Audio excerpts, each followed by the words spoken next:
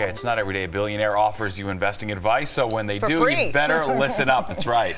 Ken Fisher is on the Forbes 400 list of richest Americans with a net worth of $3 billion. So Allison Morris had a little chat with him because she's here to tell us how we can all become billionaires as well. We were just talking about this before Yeah. uh, we came on camera. This guy is fascinating. He's one of the most interesting people I've ever interviewed. He's quirky, he's really smart, and he just has unbelievable, uh, basic but very, very sound advice. And it goes up to the complicated. We're going to try to keep it a little bit simple here so we don't uh, drive people too nuts. But I had so many questions for Ken Fisher. We talked for nearly an hour. His bottom line is this, however you have got to blaze your own path if you want to make money on the markets because the crowd is usually wrong.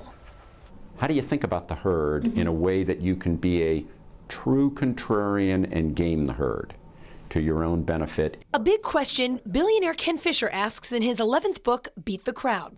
It's designed to help you cut through the noise and make more money on the markets. For starters, ignore what everyone else is worked up about because it's already priced in. If they're all worrying about it and you can see that in the incoming noise in volume, go worry about something else because that's where your worry should be. Stop trying to time the markets, you won't win. Most investors end up being wrong most of the time. But understand what timing matters most to the markets. Markets really only care about things that are sort of after three months from now and not after 30 months from now. If it's sooner than three months or longer than 30, you filter it out and you say, as it relates to markets, doesn't matter. It's a real simple filtering tool. There's a lot of gridlock in our country right now, but Fisher says this is a sweet spot for investors. Markets like it when government can't do much in the three to 30 months. And so gridlock for markets is good.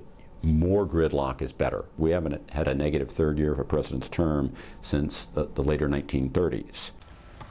All right, so here's a crazy stat from Fisher. The second quarter after a midterm election, that is exactly where we are right now, is positive for the markets 86% of the time. Now, couple that with the third year of a president's term.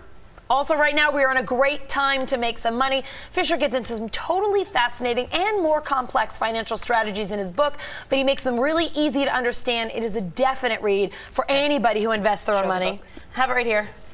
Beat the crowd. Yeah, really interesting. Some of it's really dense, a little tough to get through, but it's really, I mean, I'm fascinated. I didn't want that interview to end. I know. We're gonna we're all gonna read the book and try to get a little rich. Yes. Okay. Dale. All right, thank you.